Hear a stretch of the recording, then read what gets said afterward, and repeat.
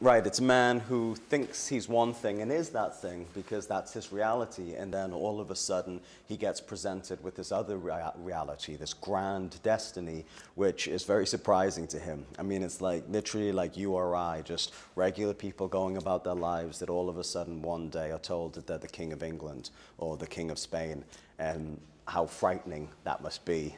Uh, the responsibility of that being thrust upon us. So that's, uh, that's a big part of the journey that Arthur goes on, is having to overcome his doubts about whether he's um, worthy of this destiny.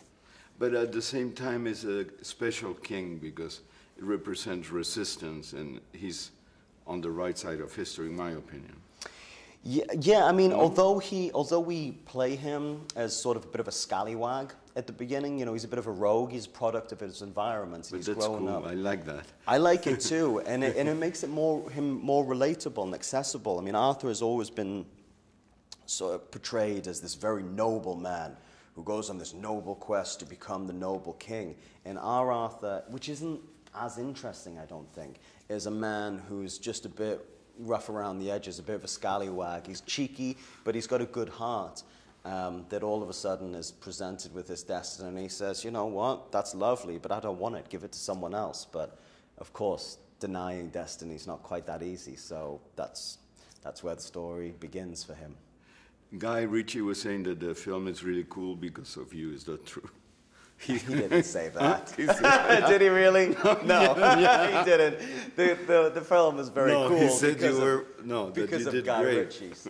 You know, that's that's why I was so excited about this because, you know, you don't usually see period films handled with the type of uh, directorial sensibility that Guy brings to the table. I mean, he's so cool and vital and accessible and young and fresh and.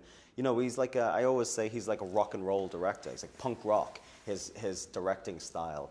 And, and, and I think that like a sword and sandal epic like this, told through the lens of punk rock, is really exciting and, and original.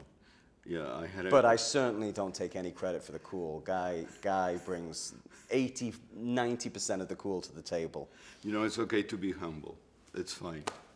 I, I'm not even being humble. Honestly, I'm really just not that cool. Guy is significantly cooler than me. But uh, listen, I'll take it. I Yeah. appreciate it. No, Guy Ritchie is super cool. Yeah. I, I get nervous when I talk to him sometimes. You know, I did too for the longest time. Um, you know, because he is just so charismatic, and you know, he's um, he's so knowledgeable. I mean, he's deceptively because he sort of he doesn't um, he doesn't come in the package of the sort of quintessential intellectual, but he actually is incredibly well versed in many, many topics. And, you know, he's, he's, he's, he's a great dinner date. You know, there's a lot of very exciting um, wisdom that he has to impart. But, uh, but yes, so I would get a little nervous around him too. And then, and then I got over it. You know, now he's like my old dad. So, yeah, I keep saying that just to annoy him. He's like my big brother, but my old dad. but uh, also, uh, I think this industry is treating you very well, no? You're doing great stuff. You just did uh, Lost City Z yeah. in the middle of the Amazon, and It's- now King Arthur. It's been a really lovely little run I'm having. I mean, I think that it's always sort of cyclical. There's, there's, there's a rhythm of an actor's career like everything else. But yeah, it, for this little moment now, I've been enjoying a good run and yeah, I've been very, feeling very grateful for the opportunities I've been given. And uh, could fame be damaging? I don't see you as a damaged person. I'm just asking.